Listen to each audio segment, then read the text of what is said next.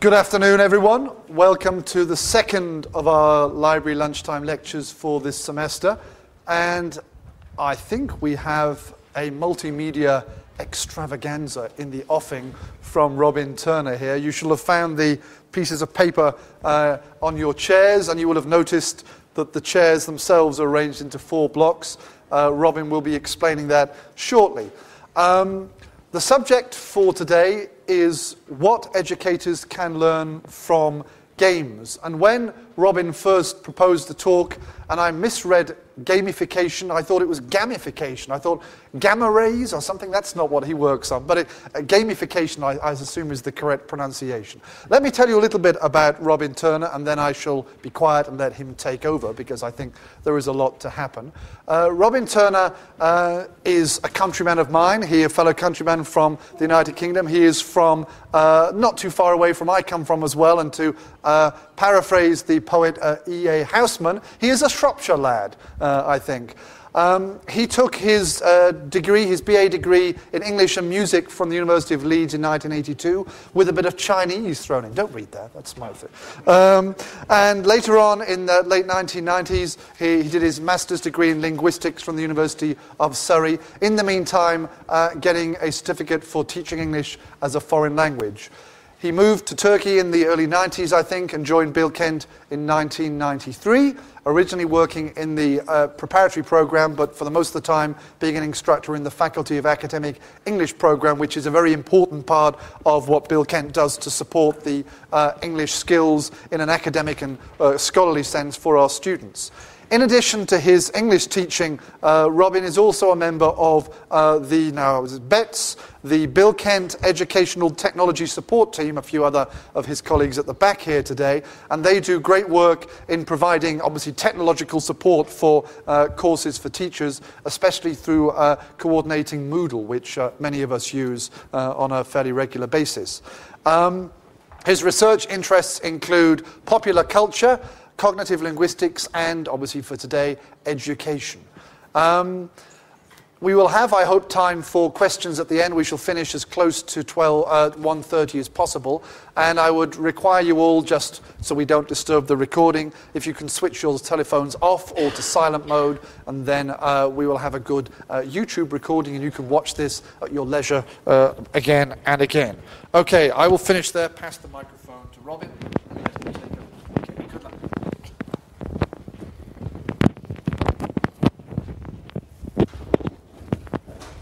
Okay, um, David mentioned the slightly unusual seating arrangement.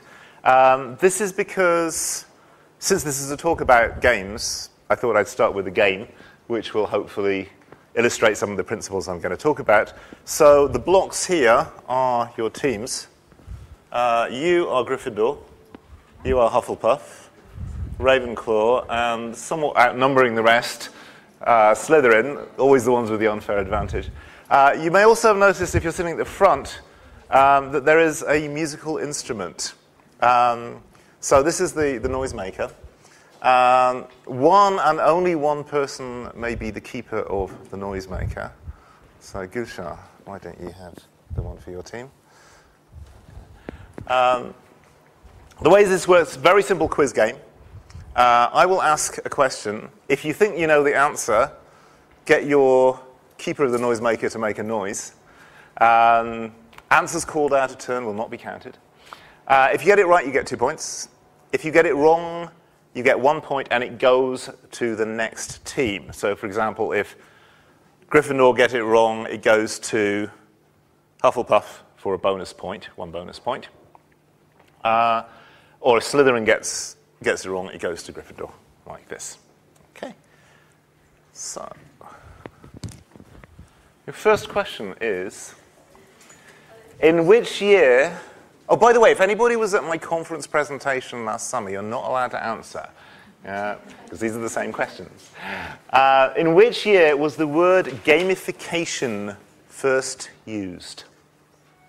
Make a noise. Yes, Slytherin. 65. Uh, no. Slytherin are now on minus one. So it goes to Gryffindor automatically. Gryffindor for a bonus point. 95 is also wrong, but there are no there are no penalties for a bonus, so it goes to Hufflepuff. 2005. Yes. This is the only one left. So Hufflepuff get a bonus point. Okay. Next question. Oh, by the way, um, for those of you who are interested in language change, this is from Google. It shows when uh, it started getting common. So 2005, 2006 is the earliest anybody's seen it, but you can see it's completely exploded in the last two years. Yeah? It's one of these buzzwords. There are a few others um, game based learning, serious games.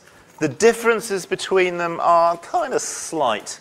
Uh, gamification is such a new word that nobody really agrees on a definition, but the most common one is the use of game mechanics to enhance non game activities. Uh, game based learning speaks for itself, so using games in education. Serious games is another new term. Uh, it sounds like a contradiction, but it means any game that has a serious purpose. Uh, serious games are often used in political activism, for example. So, your next question. This is a tricky one. Anybody know who this woman is? Wow, uh, that was Ravenclaw, I think. She was, she was from the TED Talk. That's close, but what is her name? Uh, her name was Jane McGonigal. Jane McGonigal, well done. Two points for Ravenclaw. Uh, yeah, so she's. She never actually uses the term gamification herself. She's more from the serious games movement. But she's very, very influential. She's a kind of like game goddess. And in particular, she wrote a book called Reality is Broken. And there she claims that the reason why there is this massive exodus into games, and particularly online games, is not because games are evil things that are rotting our brains, but actually, games get a lot of things right that the real world gets wrong. Some of those things that games get right we'll be talking about later. Okay, Next question, easy one. What is this game? Uh, again, Ravenclaw. Well, first, I think World of Warcraft. Okay. The reason why World of Warcraft is important, and it crops up so much in the literature on game studies, it's a phenomenally successful game. Millions of people play it. Uh, according to Jay McGonigal, a typical World of Warcraft player, not an addict, a typical player spends around 20 hours a week playing World of Warcraft. Yeah? Um, this is one reason why I don't pay it, because I'd lose my job if I spent that much time playing online games. Um, so, because of this, people have been really studying World of Warcraft and what is it about this game that makes people play it so much.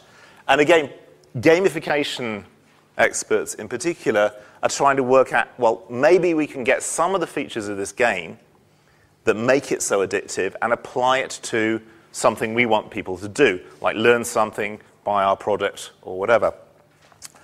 Next question What is the world's second largest wiki? The largest wiki, of course, is Wikipedia. Uh, the second largest, anybody? I think Gryffindor first this time. No, that was the first. Listen to the question carefully. Uh, so that goes to Hufflepuff for a bonus. One point if you can get the, wor- the world's second largest wiki. no, going round. Ravenclaw is indeed correct. Ravenclaw are streaming away here. Yeah. Um, I took this screenshot uh, last summer, so it, now it will be over 100,000 pages. This is phenomenal. So not only are these people spending 20 hours a week playing a game, on top of that, they're spending time to help other people play the game. Yeah, they're writing pages, game tips, walkthroughs, most of all, pages about Azeroth, the imaginary world of World of Warcraft. Uh, this is not a phenomenon, of course, that's restricted to games. Hobbies of any kind have the same effect. When I was doing a course on fantasy literature uh, a few years ago, I had a couple of guys in my class who I used as my Tolkien consultants because they knew everything, not just about the Lord of the Rings, but even the Silmarillion. They had read the Silmarillion in English. That, it's a book that thick, and it's not fun. It's really, really dense. It's not a novel about hobbits, it's Tolkien's history and mythology. Uh, so that got me thinking well, how can I leverage this kind of enthusiasm and actually get students to apply it to stuff they're supposed to be learning? Unfortunately, it's not very easy. Okay. Next question. How do you pronounce these three names? Gryffindor. Uh, all, all three of these. uh, well, if you're passing, I'll, I'll, I'll, give it to Slytherin. Okay, Slytherin. Yes, try. Uh huh.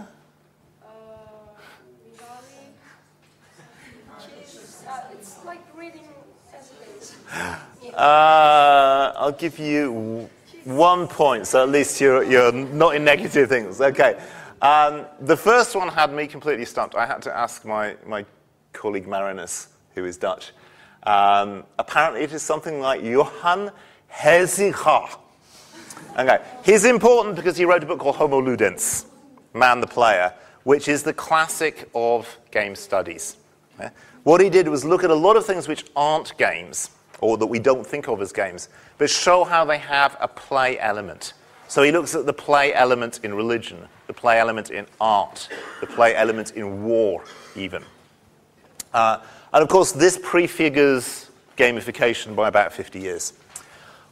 Uh, Roger Caillois, that was the one you got right. Um, he was a French sociologist who took up Huizinga's work. Um, we'll be looking later at his classification of games. And um, this last person, which even I have problems with, uh, in my class I usually just say that guy. Um, Mihaly Csikszentmihalyi, I am told is the correct pronunciation. Um, it's a Hungarian name, uh, although he lives in America. He's a psychologist, and he's important for a concept called flow. Um, he wrote a book called Flow the Psychology of Optimal Experience, if I remember rightly. It's in your handout.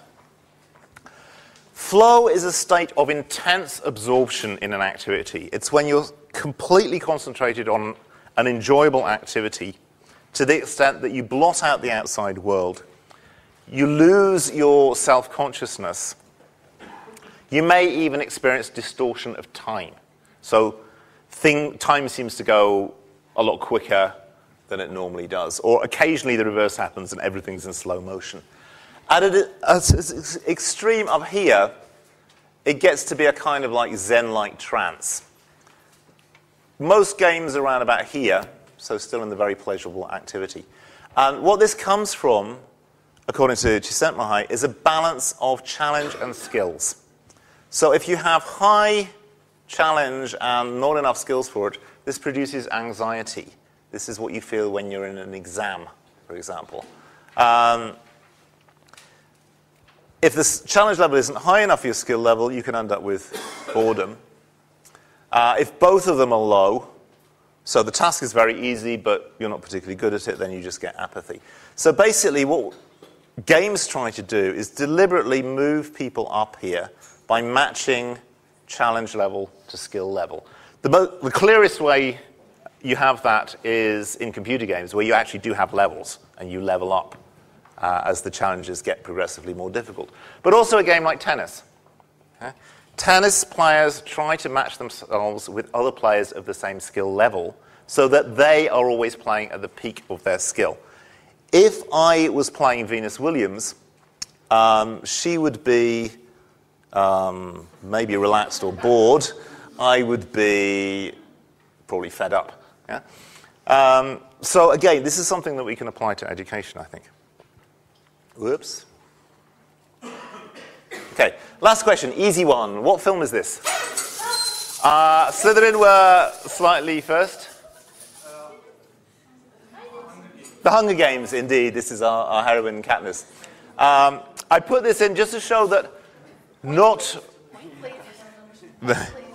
oh. and Slytherin are finally into positive points. Uh, I put this in to show that um, not all games are good. Games can be completely unethical or brutal, um, and hence, not all gamification is a good thing. Some of it works very well, some of it um, fails completely, some of it works but in a kind of nasty, manipulative way. So, time permitting, I'll be looking at the dark side of gamification later. Okay, so our winner is Ravenclaw. Congratulations. okay, so what we can see in this little activity then is some of the features that um, games have. And I'll be looking at these in more detail now. But first, we need to actually say what a game is. And this is not easy. Wittgenstein famously argued that games were indefinable. There are no characteristics that you can say all games have which distinguishes them from non games. And in absolute terms, I think he's right all of the definitions that I've read of games are either so broad they include some things that aren't games. Uh, Bernard Suits is an example of that. He described a game as the voluntary acceptance of unnecessary obstacles. Um, it's a pretty good definition, actually, but it does include some things that I wouldn't count as, as games. Um, others are too narrow, um, so they only include, for example, competitive games. Um, I've come up with my own definition. Um, this still doesn't work for all things that are called games. It doesn't work for what I call peripheral games, things like gladiatorial games, the Hunger Games, or the games of game theory. Um, but it does work for most everyday things that we call games. Anything from World of Warcraft to chess to football. So my definition is a game is a structured activity designed to facilitate play. This is kind of passing the buck, really, because I haven't defined play. Um, fortunately, we don't need a precise definition of play because I think we all have an intuitive sense of what play is. We know when we are playing. We can also tell when other people are playing, or even animals. As you can see, very obviously playing. Okay, so oh, well, we, we can look at a few characteristics of play. Um, the first, and I think the most important, is that play is something that is done for its own sake. If you are doing something in order to get some result at the end, and that's your main focus, then you're not playing. You're probably working. Um, this doesn't, however, mean that play has to be completely useless. Here I disagree with uh, Roger Caillois. He describes play as a glorious waste a waste of time, a waste of energy, often a waste of money. But I do think that games can have a useful purpose, hence the serious games we mentioned before. The important thing, though, is that you mustn't be thinking about the purpose when you're playing the game. You can start playing tennis in order to lose weight. But if you're playing tennis and you're always thinking, oh, I'm burning some more calories now, this is really good for me, um, then you're not really playing. You're doing tennis, perhaps, but you're not playing tennis. And this is a big problem for gamification. How do you set up a game or a game like activity designed for a practical purpose without making people focus on the purpose rather than on the game? Another thing is that games create their own meaning. Um, the guy we talked about first, uh, with the guttural name, he- Huizinga, um, talked about, I think he, he called the magic circle. The magic circle is what kind of draws a boundary between the game and the world outside the game. So it can be a physical space like a football field, it can be a temporal boundary. So the time that the game starts and the game finishes. But within the magic circle, things have a different meaning. The clearest example is boxing. Um, if I were to go over and punch a member of the audience in the face, um, I would lose my job, I might go to prison. I do the same thing in a boxing ring, I score a point. Yeah? Things mean different things in the game and outside the game. And because of this, games are never meaningless within the game. The game itself can be completely meaningless. You could even say that games by definition are meaningless. But within the game, everything has a meaning. You never hear fanatical game players complaining about apathy or ennui or having an existential crisis. Nobody goes into World of Warcraft and says, Oh my God, why do we have to kill all these orcs? Huh? The meaning generates itself. And the last thing is that games are actively absorbing. Many activities can be absorbing watching TV, reading a book, and so on. Um, but their activity is limited. You can react to a book, but you cannot interact with the book. I know educators sometimes talk about making students interact with the text. This is complete nonsense. Unless it's some very weird kind of hypertext where the way you read it changes the actual novel. Um, even, even if you're thinking really hard about a book, you're not actually doing anything to the book. Games, on the other hand, and play in general, you are actually doing the main action. The most important thing is what you do, not what, is, not what you're watching, not what is done to you. Okay. So, how do games achieve this? Um, oh, sorry. Uh, before, before talking about how games achieve this, I'd just like to say the way we normally think about work and play, um, we think of it either as a, a, black and white thing or as a kind of spectrum going from work to play. Um, I disagree. I think it's actually more like this. So, if play is an activity done entirely for its own sake, and drudgery, for lack of a better word, is an activity that is only done for some external reward, not at all uh, worthy or enjoyable in itself, then work can be anywhere here. Unfortunately, for most people, it's closer to this. Um, for us academics, we're lucky it's kind of closer to here. But then, not all the things that we do. I mean, like putting the attendance on stars comes right about here. Um, okay, so ways that games facilitate play. One, uh, calls this agon, which is a Greek word. Um, uh, the word antagonist, for example, comes from this. Agon games are basically games of competition. Yeah? Um, I love this picture. I mean, this is from, taken from a chess tournament. Uh, and as if chess wasn't enough, they are also arm wrestling in the breaks between chess matches. The important thing about Agon, though, is that it's not real competition. If the competition is real, then it's just competition. It's not a game. Yeah, it's a war, it's a business competition, um, it's an exam, whatever. Alea is the Latin word for dice. So Caillois uses this to describe any game that is based primarily on chance. Uh, I would say if it was pure chance, then it kind of gets away from being a game. I don't think betting on horses is a game. Uh, I don't think buying a lottery ticket is a game. But roulette is interesting because although the game is entirely based on chance, uh, you have what Csikszentmihalyi calls the paradox of control.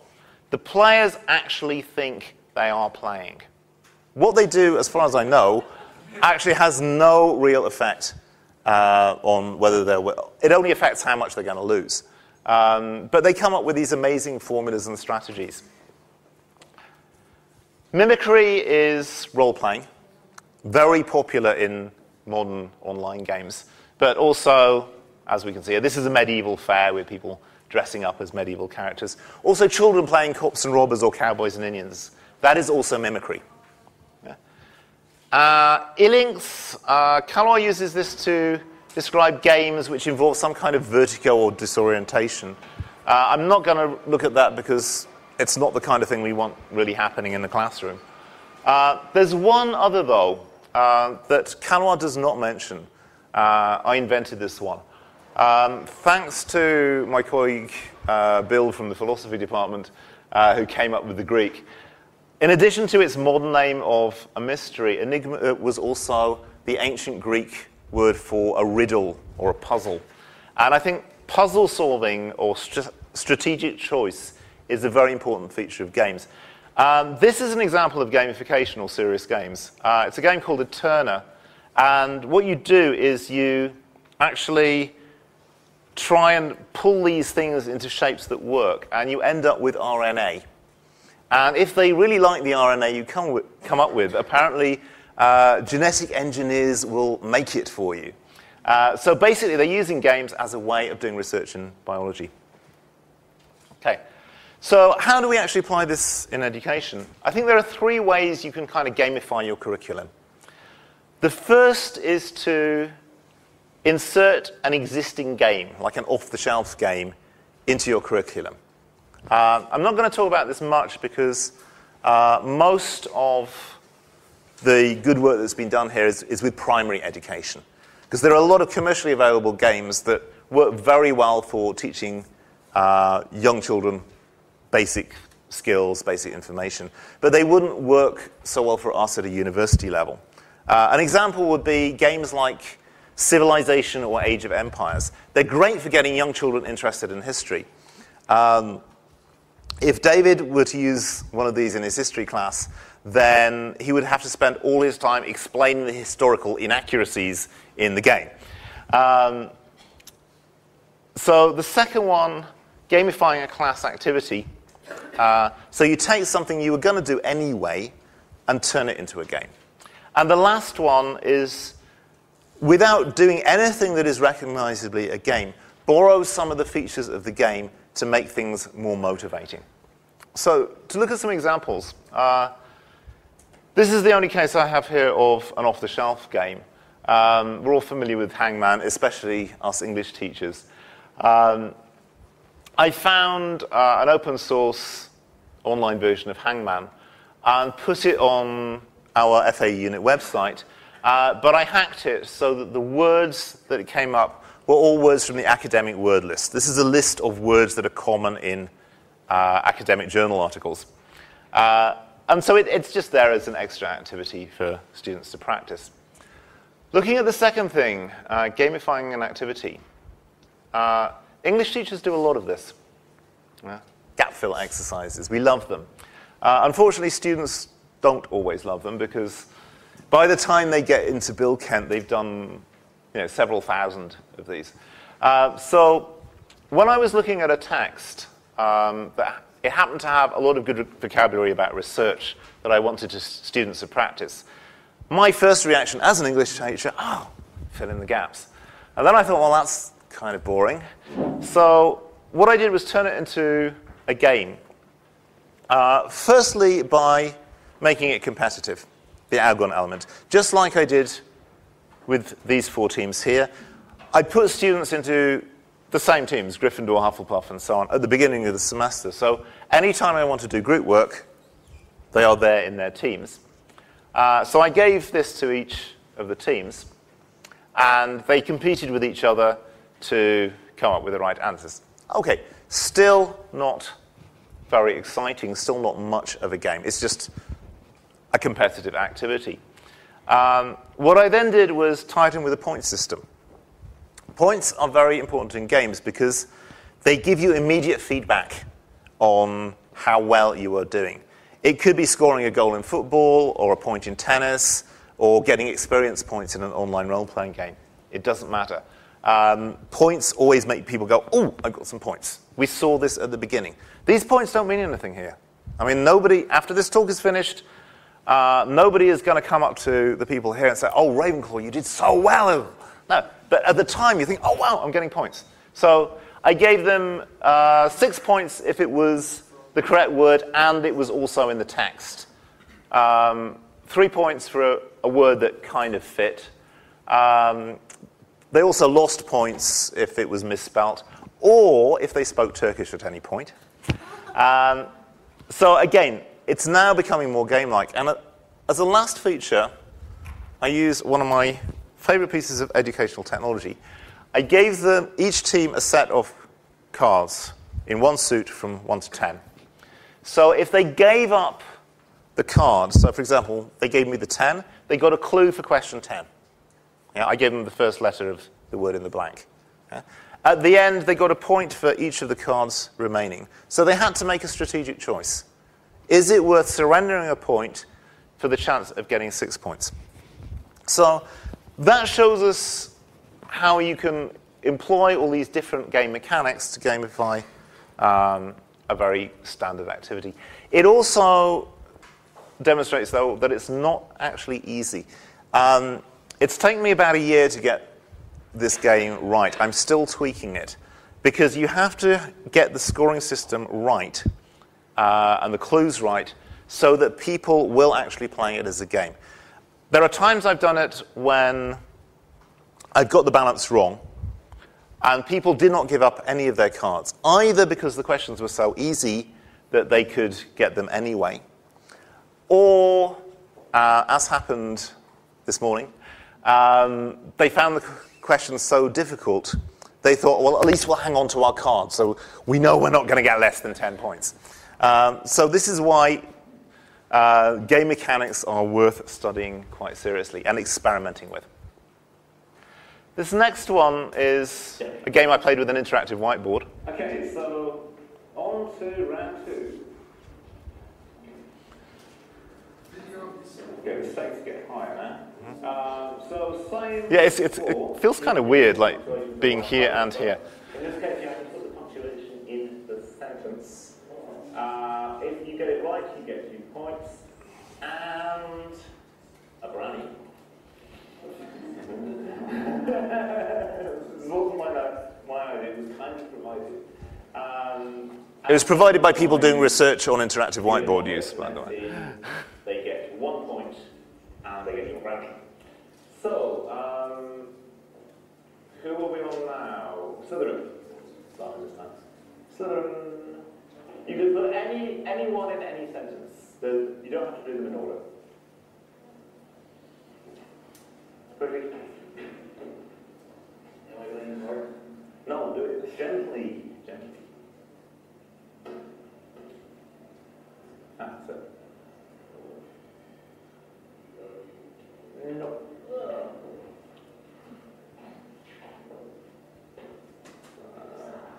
Bonus point for Gryffindor. Bonus point for Gryffindor.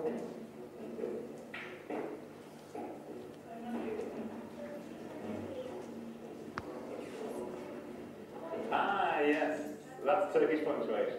It's also actually slightly archaic punctuation. punctuation. I know this Tolkien sometimes puts a semicolon in front of the word, but that is the correct one. So, Okay, um, this illustrates a couple of things. Um, one is that although I have my doubts about interactive whiteboards as a pedagogical tool, I actually find them quite frustrating to use. They're great toys.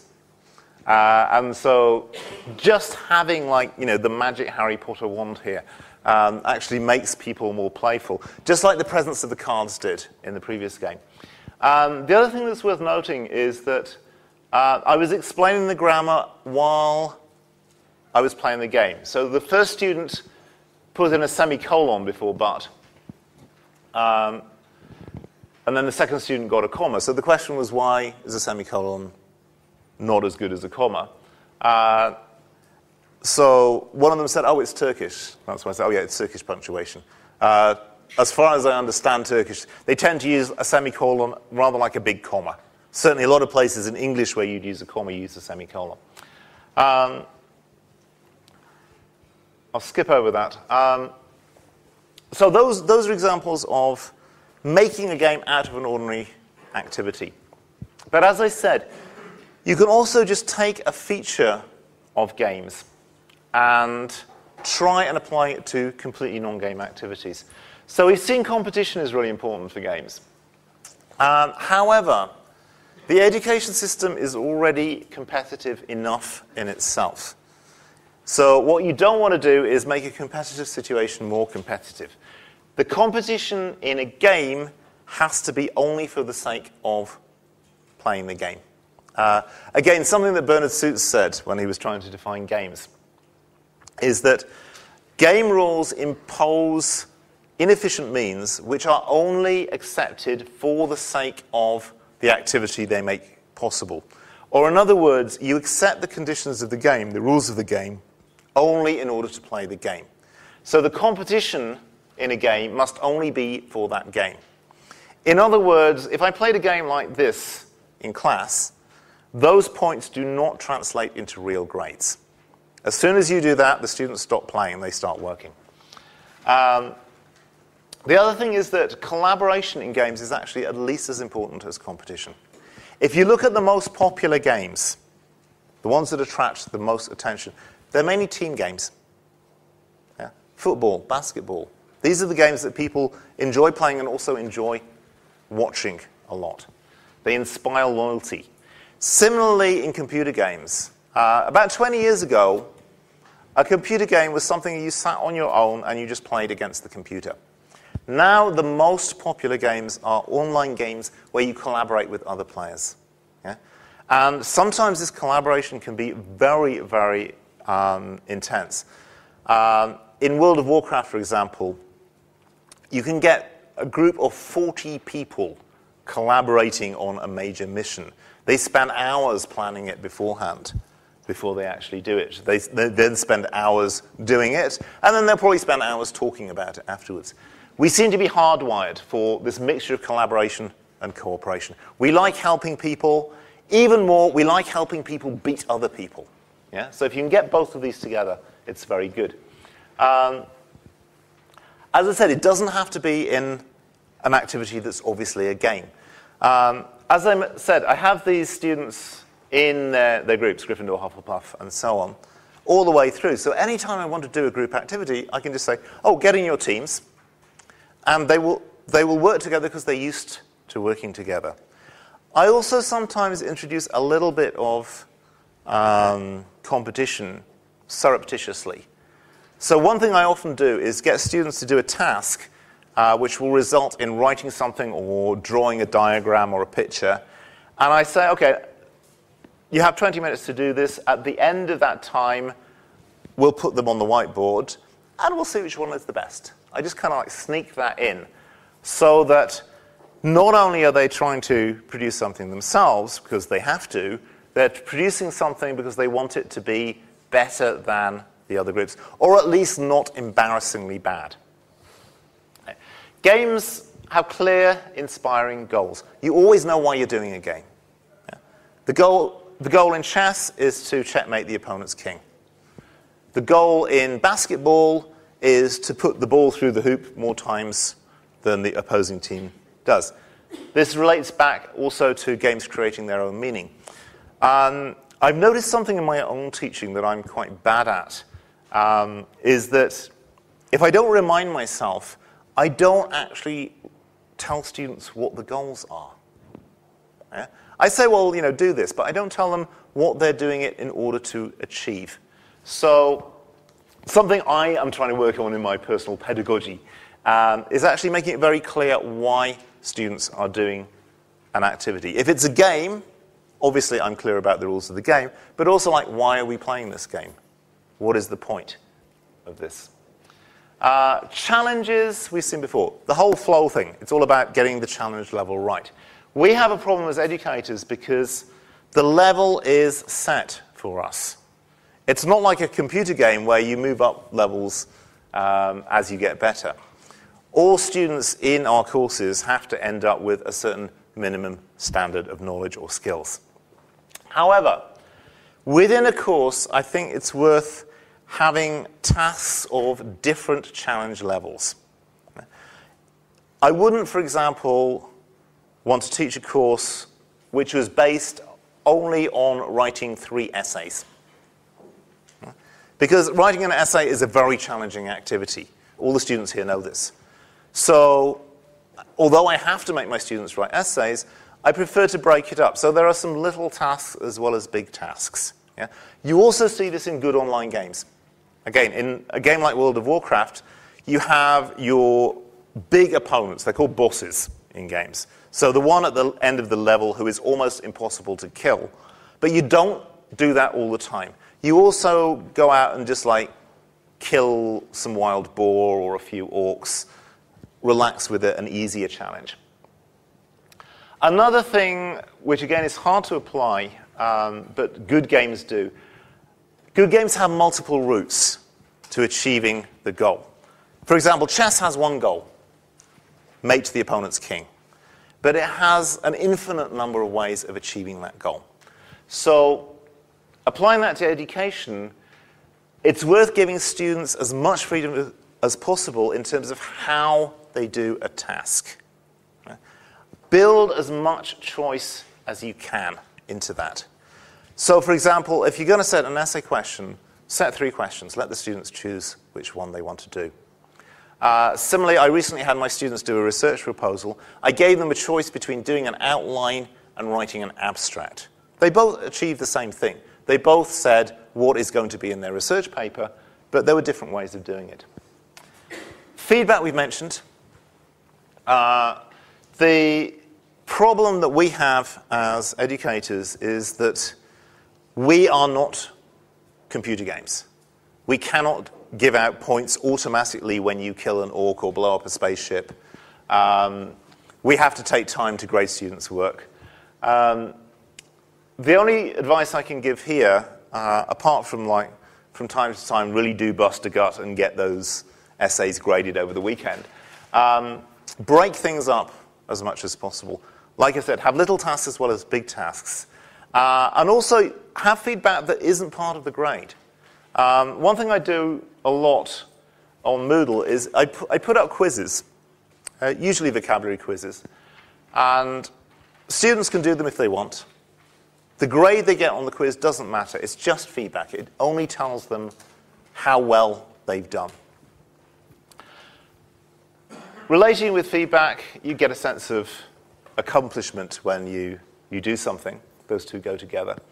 Um, and in particular, when we give feedback, we need to make it very, very clear when a student has achieved a goal.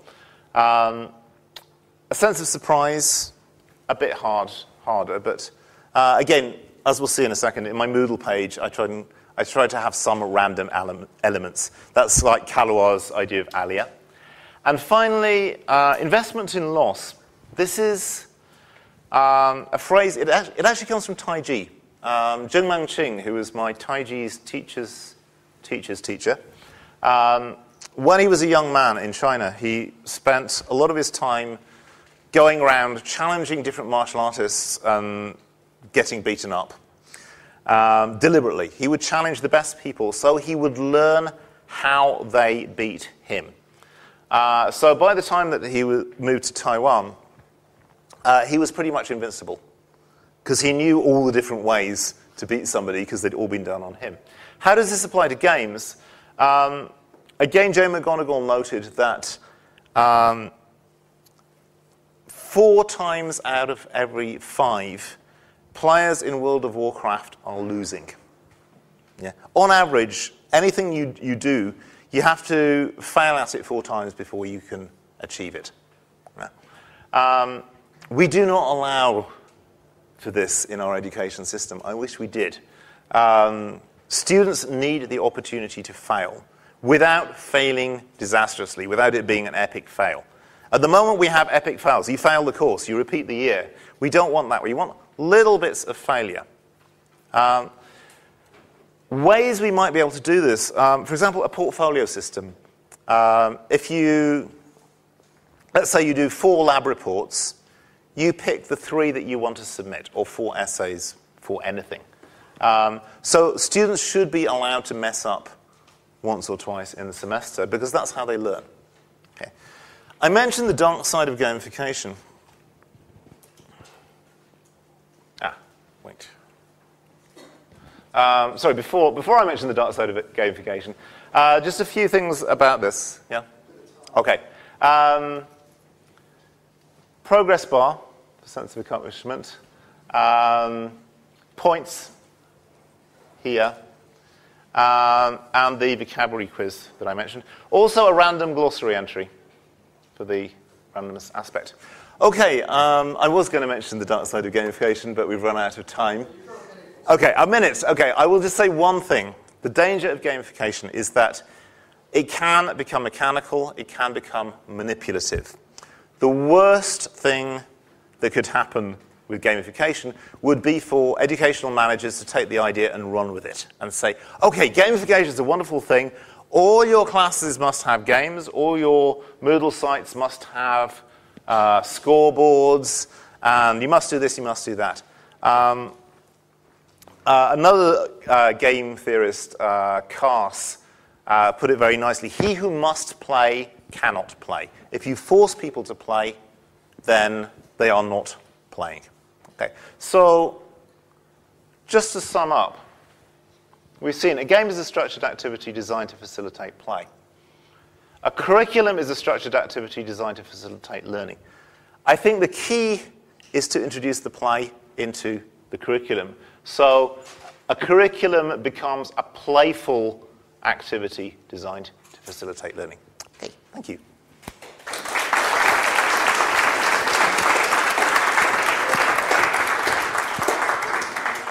I'm going to disagree. These points are very important. I was in Gryffindor and we lost. so I'm going to take that away from. No, no. Okay, thank you, Robin, for what was an extremely interesting talk.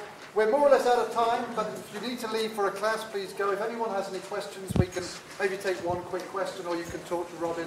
Looks like everyone's got, okay, many students here, they've got a class. If you have a question, come and see Robin. I'm here. Uh. Okay, thanks again, Robin.